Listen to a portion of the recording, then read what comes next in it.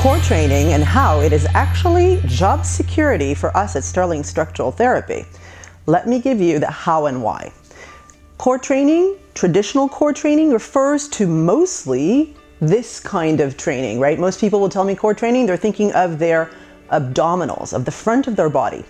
And the exercises that we do for those traditionally are sit ups, V ups, roll ups, leg lifts, all these combinations of bringing the spine, the whole torso to the leg or the leg to the torso. That A does not work your core, but what it does is again job security for us. And how is that? Anatomy. This is not my opinion, this is a fact. So there is no abdominal muscles that attaches onto your leg bones. So how on earth is lifting my legs, doing a V-up or bringing my torso up to my legs like a sit-up, working my abdominals? It doesn't, but what it does work, that is a part of the problem. Say hello to psoas major. And this muscle actually converges with this muscle over here called iliacus and it's called iliopsoas put together. So it affects your whole spine and your pelvis. You can see that they cut here on this model, but what actually happens inside of you, the way this is designed is this muscle attaches to every single lumbar vertebra at the side of the vertebra, at the vertebral body, and it actually has attachment points to your discs. And this is the point where I'm hoping I'm starting to scare you a little bit. It attaches to your spinal discs and vertebra, and it attaches to your groin, to the leg bone. This is the main muscle that can lift your leg up to your spine or your spine up to your leg. The problem with this is when you do that, you create shear force through the lumbar spine.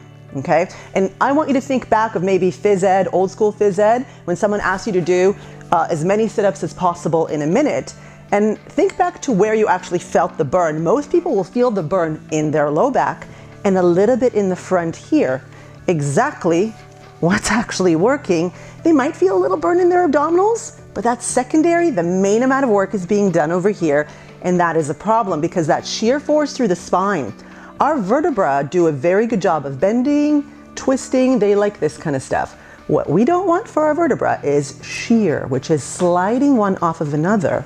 And that is the kind of force that is created on the inside via this muscle. So when I go to the gym, I have to put my blinders on because when I see people doing leg lifts and sit ups, I picture them getting punched on the inside of their spine via their own muscle.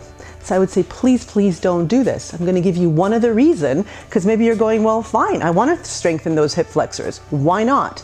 So I'm going to invite Sterling structural therapist Cody Williams, and I'm going to have him sit right over here off the edge of the table because what I want to point out, sit all the way back, Cody, even if your feet are not supported. There we go.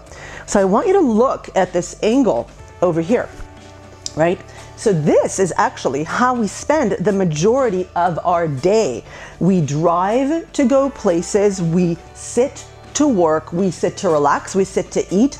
A heck of a lot of sitting is happening in the everyday life. So if this is the position that you are spending the majority of your day, does it make any sense to then go to the gym and Cody start to do some leg lifts over there, right? Kind of this kind of stuff. Can you actually see that his head is going forward as he's doing that? think of the posture that we're promoting and the stress through the spine, right? So let's let that go. Good. So there are two reasons this kind of core training doesn't benefit you at all. Job security for us. One, mechanically speaking, the muscles are pulling you out of alignment. The other one is you're promoting even more spine flexion and creating more of this kind of posture that is basically faulty posture that puts a tremendous amount of load on your spine. So if you're interested in how to actually work your core in a way that benefits your spine, come on down and see us.